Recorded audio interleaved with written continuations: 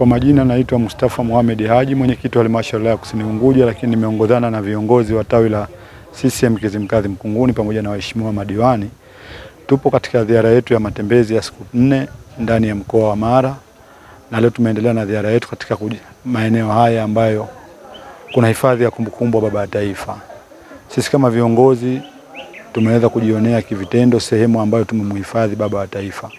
Kwetu sisi kutembelea sehemu ya hifadhi ya taifa ni swala la kizalendo, ni swala linaloonyesha umoja, kujali kazi nzuri iliyofanywa na baba wa taifa ambayo alisimamia ali, ali ukombozi wa nchi hii, lakini na hata nchi nyingine jirani. Sisi kama vijana tuna, tuna haja ya kuenzi na kuasisi jitihada kubwa alizochukua katika ukombozi wa taifa hili, lakini na misingi mizuri imara ya kimaendeleo na ya usimamizi wa katika taratibu ya serikali. Kwa hiyo swala la kufika hapa Butiama kuja kuona malazi ya baba wa taifa.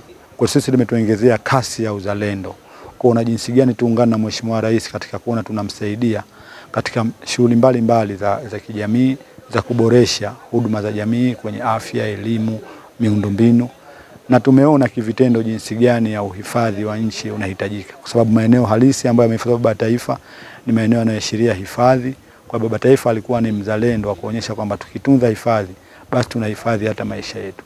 Kwa hiyo sisi tutoe wito wale wa Tanzania ambao labda wanapoteshwa kwamba Tanzania haina amani. Tanzania ina amani, Tanzania ina upendo, ina umoja.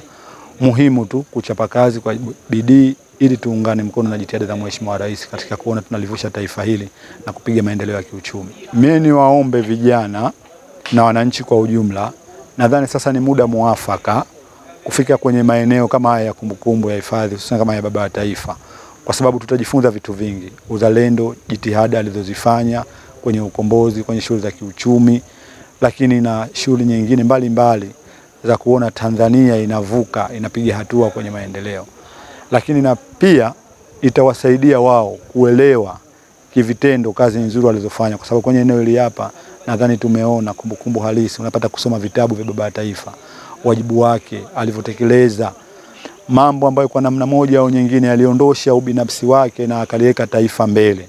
Kwa mimi nadhani tukifika kwenye maeneo kama haya tutaona sisi kama viongozi sasa, hususan sisi vijana tunaochipukia kuona kama kweli katika kutumikia watu kuna haja ya kujitoa kwa maslahi ya watu na sio kujitoa kwa maslahi yako binafsi, kwa sababu baba ya taifa hata ya maeneo tulionayo, basi serikali imechukua hatua kubwa sasa hivi kuyaboresha katika kipindi hichi, lakini huko awali hakusubutu, kwa sababu alijua yeye ameshika zima ya kuliongoza taifa hili, na kama tunavyojua Tanzania ni kubwa sana, ina wananchi wengi takriban milioni 60 na point wanategemea. Kwa hiyo nadhani ni muda muafaka sasa vijana kupita kwenye maeneo haya kupata taaluma ili wakishika nafasi katika system za serikali wajue nini wajibu wao kwenye utaratibu wa kuendesha nchi hii. Unaondoka na message gani sasa kwa nayo Zanzibar?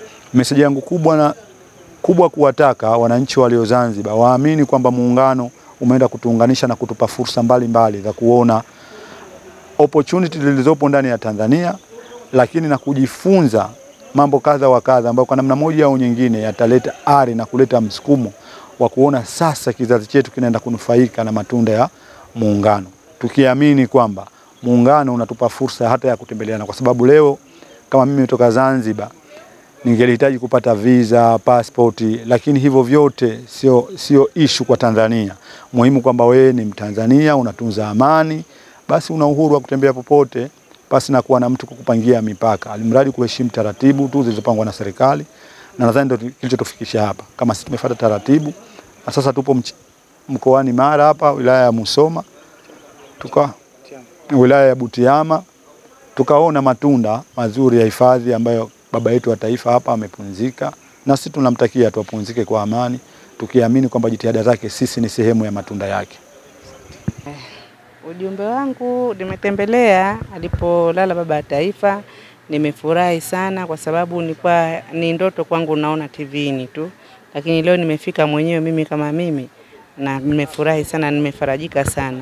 Ujumbe wangu kwa waliobakia, wasiache kufika maeneo haya kwa sababu ni maeneo muhimu ya historia na historia ya Tanzania imeanza na yeye. Kwa hiyo tusiache kumwenzi kiroho na kimwili. Kwa hiyo tufike, tumuone, tuone mazingira, tuone hali halisi, na maana huu na maana ni utalii wa ndani tu- tu- tuudumishe kama anavyodumisha wenzetu nchi nyingine, ili tulete maslahi ya taifa na hata sisi wenyewe tupate elimu ya uhalisia kabisa. Kwa upande wa maadili, ni kweli tukaitizama Tanzania iliyopita ya nyuma na ya sasa iko tofauti kimaadili, hususan vijana. Kwa hiyo vijana, kwanza tusidharau utamaduni wa kwetu tukaufata wa wenzetu. Wa wenzetu wao wanadumisha cha kwao na sisi tudumishe cha kwetu, ili maendeleo yaonekane na hali halisi ya maisha ya nchi yetu ya Tanzania ionekane. Kwa hiyo kwa nahusia au na nasihi vijana wafuate maadili ya, ya kinyumbani zaidi, ili tupate maendeleo na tuweze kubadilika kutokana kutoka hatua moja kwenda hatua nyingine kwa kufuata cha kwetu kuliko kuiga cha wenzetu. Na utalii na utalii wa ndani ni bora zaidi kwa sababu unapata kujifunza nyumbani, baadaye unafunza unajifunza cha watu. Kujifunza cha kwako ni muhimu zaidi kuliko cha mwenzio. Cha mwenzio baadaye, cha kwako kwanza.